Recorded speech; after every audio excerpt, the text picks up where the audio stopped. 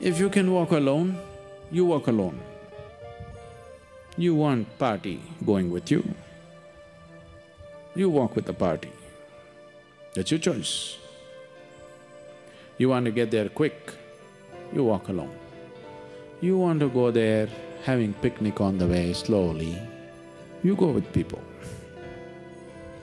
Choice is yours.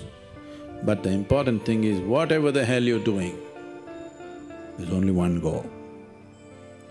So if you have set this up, then all the events of life, everything is beneficial.